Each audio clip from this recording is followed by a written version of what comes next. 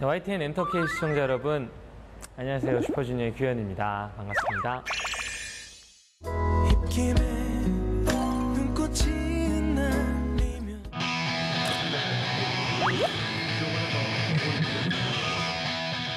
규현의 첫 번째 태그는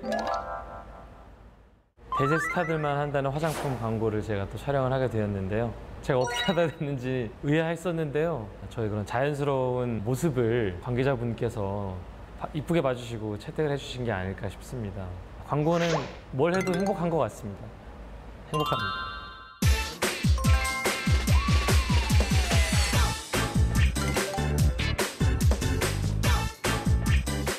슈퍼주니어 활동을 하면서 워낙 많은 광고를 촬영을 하다 보니까 이런저런 광고들을 다 찍어봐서 그런 경험 덕분에 좀 긴장 안 하고 할 수 있게 되는 것 같아요. 포인트가 될 만한 그런 표정력 일단 뭐 요즘에 하고 있는 물, 뭐 그리고 또 주류, 음료 이런 광고 같은 경우는 이제 청량감, 시원함을 표현해 주면 되죠. 마시고 아, 약간 이런 시원함.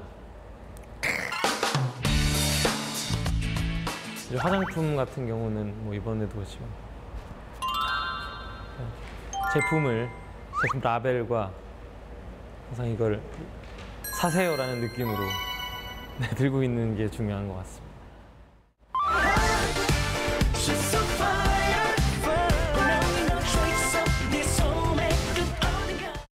려욱 씨랑 같이 하고 싶습니다. 아무래도 이 엔터케이의 원래 원 주인 아니겠습니까? 지금 물론 은광 씨가 잘해주시고 계시지만 우리 려욱 씨가 저는 또 친구거든요. 그래서 같이 친구 처럼 재밌는 컨셉으로 촬영하면 좋지 않을까 생각하고 있습니다. 그것 때문에 피해는 저만 봐요. 저는 계속 계속 여기서 보이는 거예요. 착하다 떠났던 저의 우리 제가 데뷔 초에 들었던 생각이 어, 아직은 나는 데뷔를 했지만 연습생이다라는 마음가짐으로 시작을 했었고요.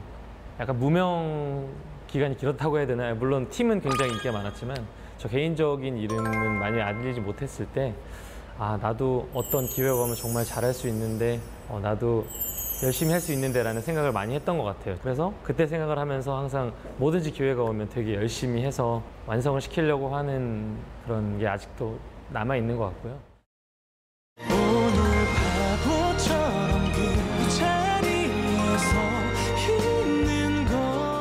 재작년 가을에 1집, 작년 가을에 2집이 나왔고 또 올해 또 가을이 다가오고 있는데 가을까지 한번 기다려 보시면 어떻게 될지 알 수 있지 않을까요? 비밀이란 얘기죠. 어, 힙합이 또 대세지 않습니까? 네. 제가 또 랩도 곧잘 하거든요. 그래서 어, 랩도 한번 콜라보로 BYC나 뭐 이런 분들이랑 펀치별로 어필 한번 해보실 수? K-Y, U-H-Y-U-N 요즘 유행이다 명 웃지 마세요 거기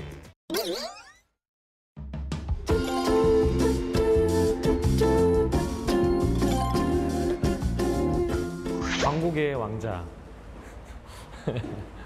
요즘에 생각지도 못하게 광고를 지금 촬영을 계속 하고 있거든요. 팀 내에서 광고는 제일 많이 촬영을 하고 있는 것 같아요. 그래서 앞으로도 이런 현상이 꾸준히 이어지길 바라는 마음에서 광고계의 왕자로 되었으면 좋겠네요. 제 광고계의 블루칩이 될 수 있는지 없는지 한번 쭉 지켜봐 주시고 엔터케이 시청자분들도 아주 이 여름 시원하게 잘 보내시길 바라도록 하겠습니다. 감사합니다.